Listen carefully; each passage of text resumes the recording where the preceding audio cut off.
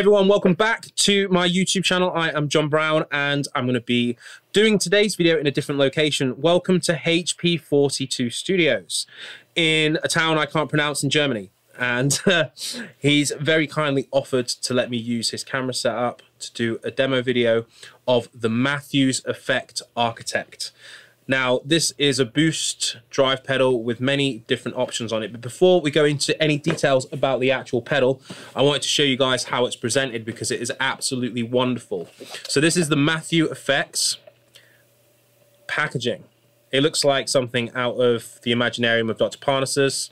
It's like an old school map kind of graphic that looks very, very cool. It looks like you're getting a really expensive pedal. And on the inside, you have in this particular instance, it's a different pedal. This one's the Whaler. You take it out and you have a bunch of different things. You have like the set of instructions like this. Um, you also get some business cards, stuff like that. I'm not going to show you everything. You should just buy one so that you can see it for yourself. Um, so yeah, we're going to go through the Architect version 3. It's a boost pedal. Kind of in a tube screamer kind of sense. Um, as far as controls go, it's, um, in fact, I'll show you on this pedal just so that you guys can, can see it. In fact, this one's not the right one. Let me just get the right one. You gave me the wrong pedal, Henny.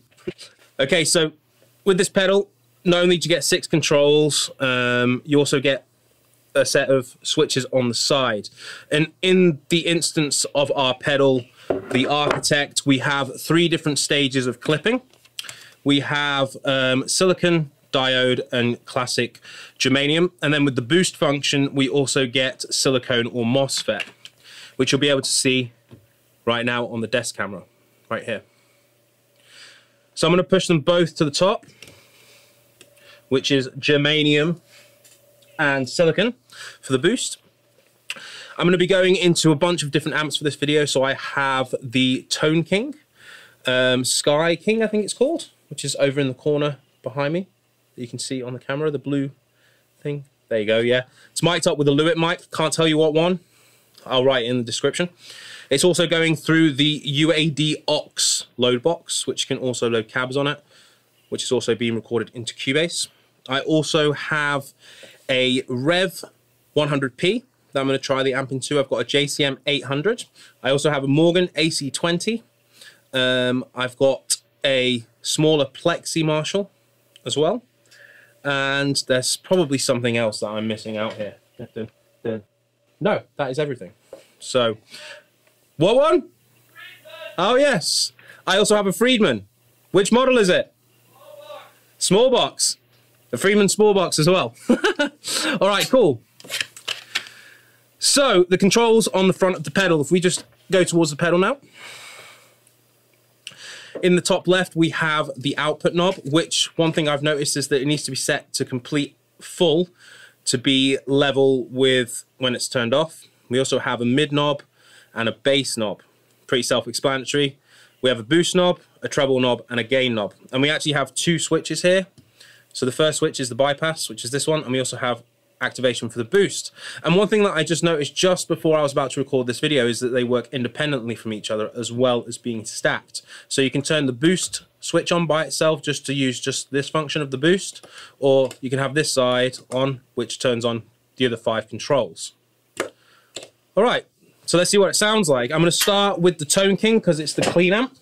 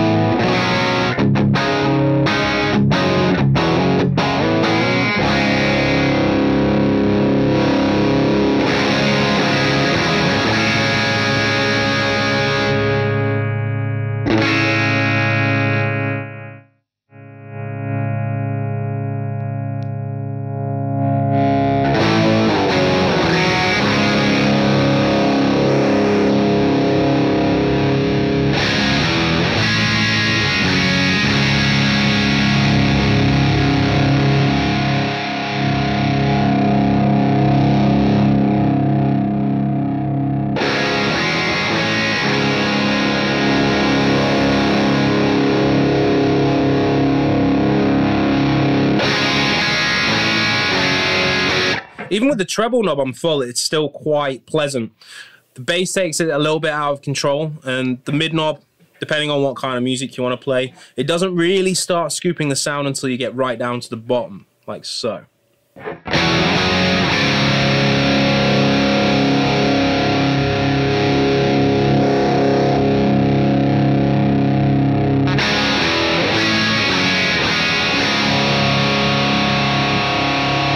Let's see what the boost sounds like.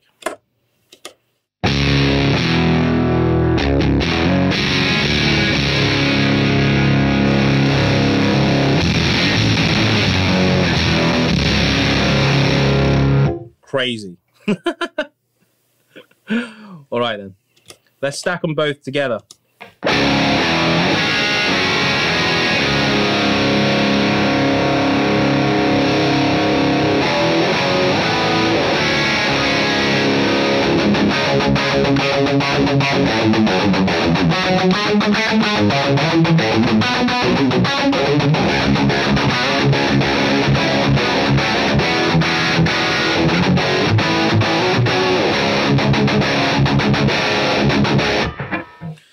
Gets quite into metal territory for basically what is a Class A boutique combo, which is the Tone King just to my left. Um, let's just take that off again so you can hear the clean sound.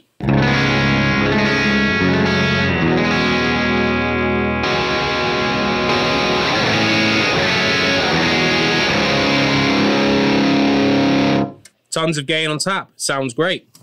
Okay, so let's see if we can try it through something a little bit more high gain. So let's go for the Revv 100p. Here's the sound without any of the pedal turned on.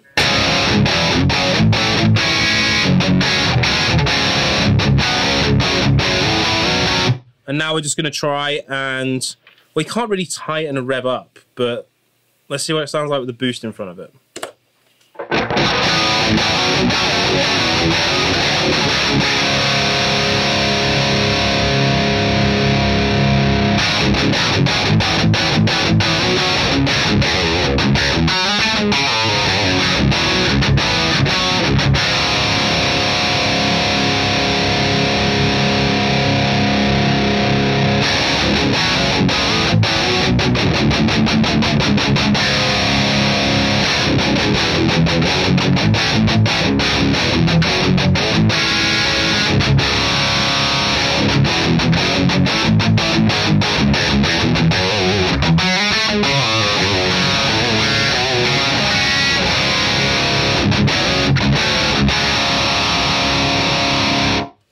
For the Revv, it doesn't really add that much to it. It's already an incredibly tight amp. If anything, it's actually making it sound a little bit looser to me. So as far as going in front of the Revv, probably not for the metalheads to boost the Revv. But let's see what it sounds like in front of a JCM 800. Um, because I feel like it will do quite a good job with that amp. So let's turn that off.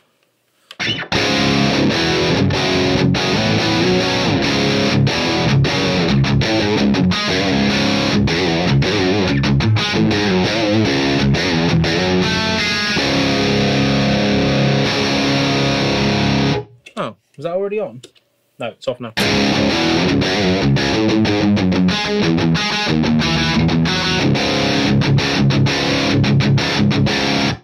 And you can't really do the trick that you would normally do with a tube screamer where you're just boosting the volume, adding a little bit of tone, and then not having any gain on because when the output is on full, it's pretty much unity with what was going on before you put the pedal in the loop. So for this one, we're going to have to add a little bit of gain into the signal. So let's have a listen.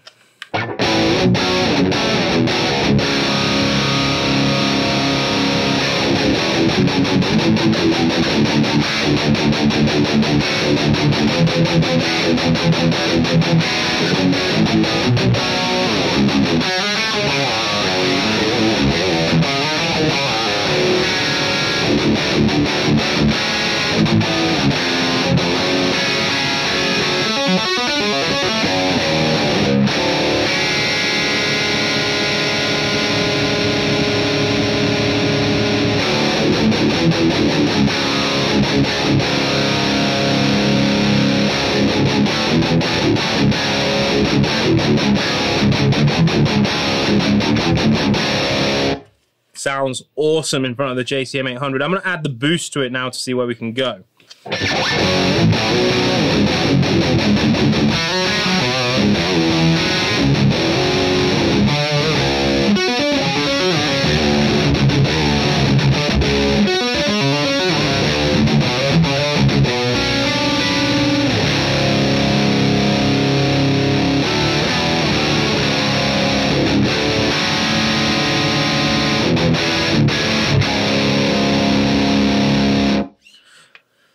Boost might make it a little bit too much. So let's turn that off. It adds a lot of bottom end to the signal, which if you were playing something like Doom style metal, then it might work for that sort of chaotic bottom end. But obviously for the gents, it's uh, a little bit too crazy in the bottom end. One thing that we've not done so far actually is play around with different switches on the side here. So we've got the germanium, we've got the silicon, we've got the diode. So I'm just going to shift this to diode. And now I'm going to go back to the Tone King so we've got a clean sound to associate it with. So.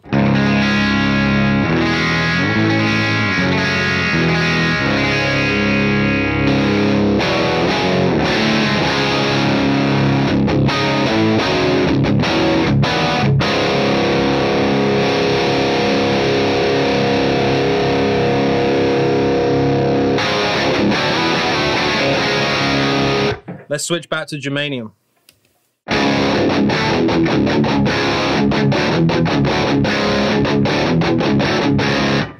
Back to diode, I believe.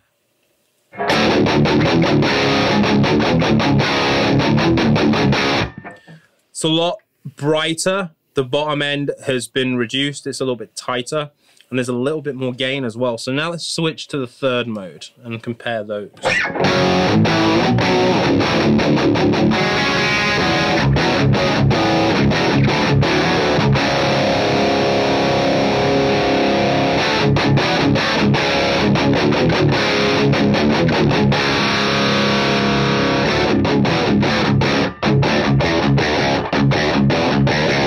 Wow, all very distinctive in their tones. So germanium is the low gain one, old school kind of style. The diode, which is probably more along the lines of what I kind of want in a tube screamer pedal. And then also we have silicon. But I'm going to keep it on diode for now while I try it through a bunch of different amps. Now we've got the boost. We've got the two different ones. We've got MOSFET and silicon. And right now it is currently on silicon. So let's change that to MOSFET and see what the boost sounds like by itself. So.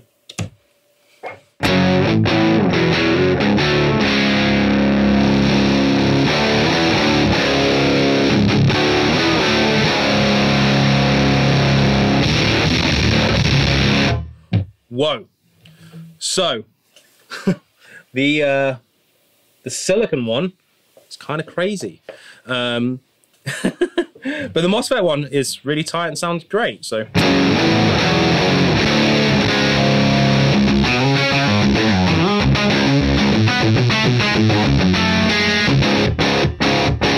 Maybe a little bit too much with it dimed. So let's now go back to the JCM 800, which I believe is number four.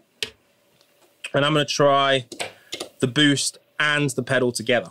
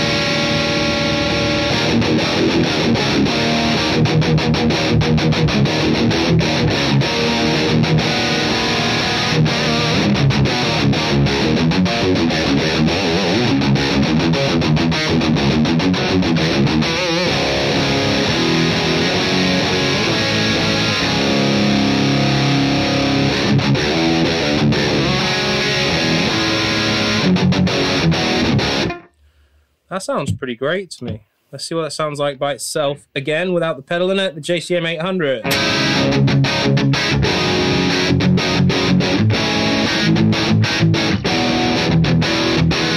With the pedal and the boost turned on.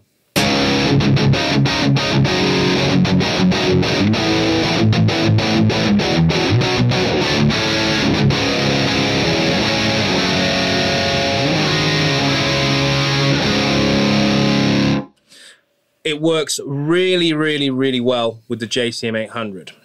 So now let's try it into something a little bit more classic. I'm going to go into the Morgan AC20, which sounds like this.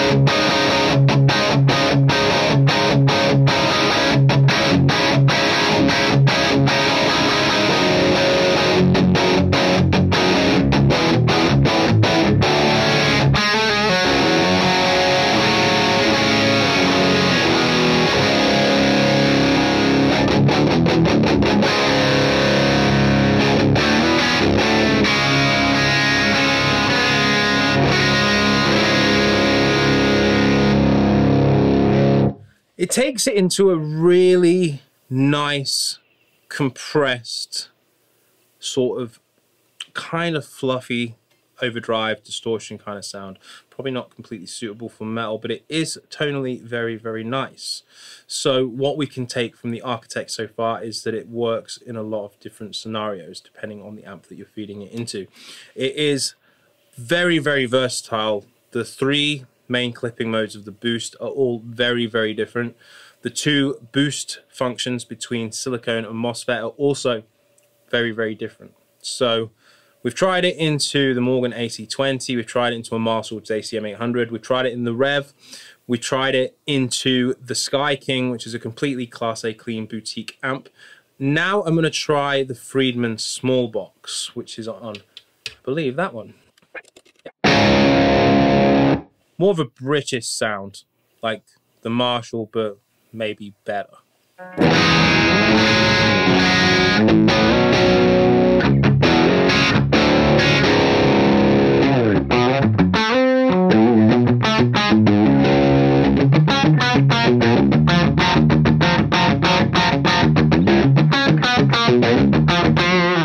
Let's turn on the pedal.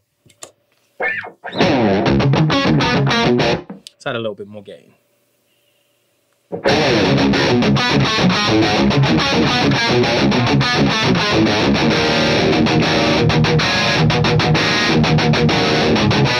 now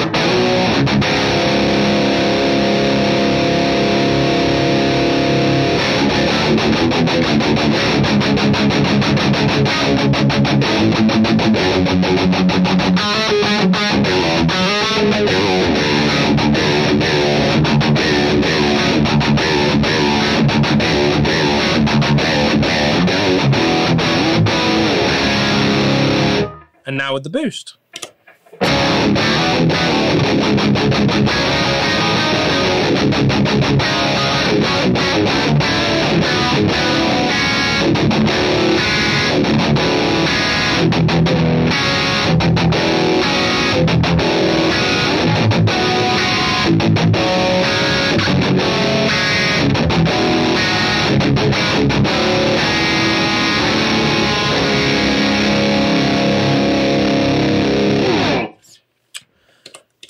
So it works pretty well in front of the Friedman as well. Not too many too, uh, not too many control changes because we wanted to kind of take the sound that we liked from the Sky King and see if it worked with other amps. But so far what I can see is it can be used as a standalone pedal to get your overdrive into a completely clean amp that's really good for pedals. But it also works really well as a boost say you want a low gain sound, you only have a one channel, two channel amp, you want a clean and a low gain sound, then this can take you into that heavier territory if you need it to. But it also works really well as a boost. So let's try one more amp. I'm going to try the Mini Marshall Plexi, which I think is on that number. And it is just behind me above the green amp on the far left of the amp rack, as you can see right now. Let's see what it sounds like in the Plexi.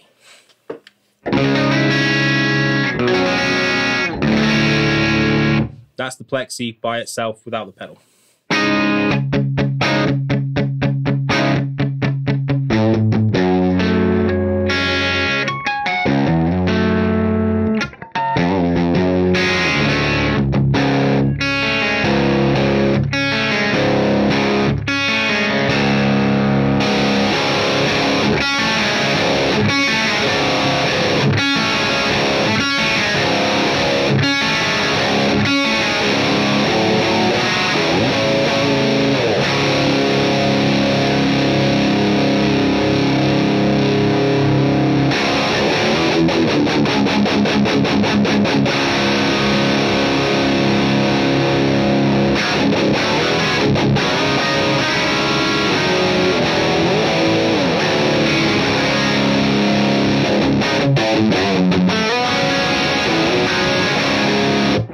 With the boost on.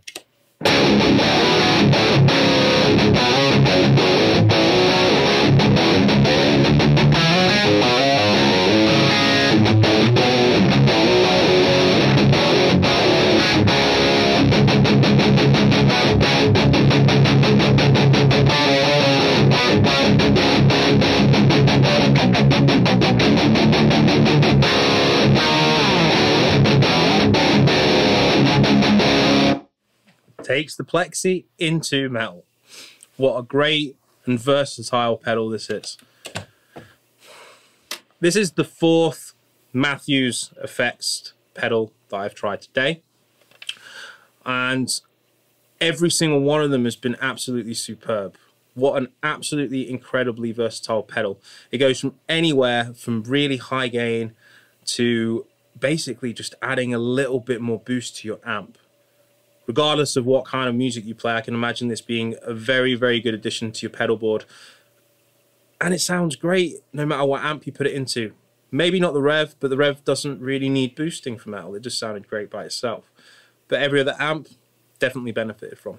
So it's a very cheap pedal, 199 euro. Don't know how much that is in pounds. How much is that in pounds? I don't know. Um, yeah, so go and check out Matthews Effects distributed by the same people that distribute Friedman, Synergy, all those great brands, Tone King as well from the amp. But anyway, thank you very much to Henning. Thank you for, to HP 42 Studios for letting me use their space to do some demos for you guys. If you like what you hear, please subscribe. Please check out riffhard.com and most importantly, check out HP 42 on YouTube and go and tell him how much he sucks. Thank you very much for watching and I'll see you next time. Thank